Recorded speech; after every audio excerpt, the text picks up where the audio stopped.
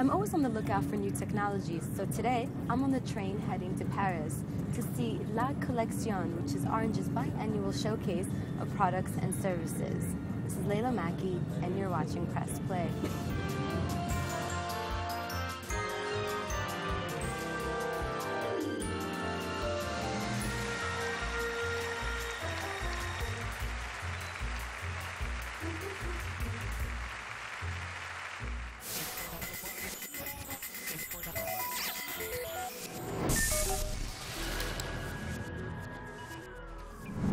Orange is showing off its spring summer collection of new products, kind of similar to a telecom's catwalk. First up is Tabbee, the 7 inch tactile tablet. The portable touchscreen runs across a Wi Fi connection and is equipped with an Opera browser. It offers easy access to multimedia content such as video, photos, and music. It also comes with notes, a calendar, and email.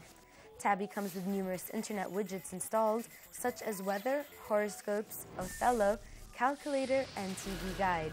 You can move around the widgets on the idle screen, and more are available to download on tabby.fr. The device charges on its base station and has three hours of battery life. Tabbee comes with a stylus, reads SD cards, and has a single USB port. I'd say the Tabbee is a good alternative if someone at home is monopolizing the computer. Expected to arrive in France for 299 euros this June. Tomorrow in France, Orange will launch a live TV application for the iPhone, so you'll never have to miss your favorite shows. I got a chance to take a sneak peek at TV d'Orange. The TV d'Orange application, when you download it from Apple's iTunes Store, becomes an icon on your iPhone. This is the information icon. Is the TV guide icon, so you can see what you want to watch based on category. Then we have Soir, which means the prime time programs that will be available tonight. This icon is um, all the programs that you can watch direct. And this right here, the toolbars, tells you how long um, the program has been running for. So as you can see, this one's just begun, and this one's about halfway through, and this is almost ending. Let's watch a sport event.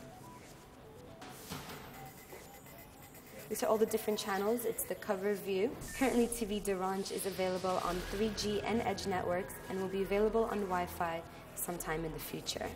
I'd say TV d'Orange is one of the coolest apps I've seen on the iPhone in a while. It seems like everyone is going App Store crazy, and Orange is no exception. This week, they're launching their Orange Application Shop. The Orange Application Shop will be a one stop store for Orange subscribers to browse and download apps by category or ratings. The apps range from the entertaining, such as horoscopes, to the practical, such as currency converters.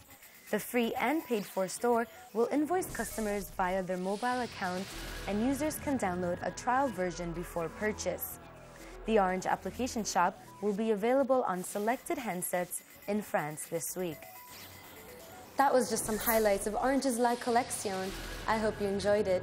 Since I'm in Paris, I think I've got some time to squeeze in some sights and a little bit of shopping.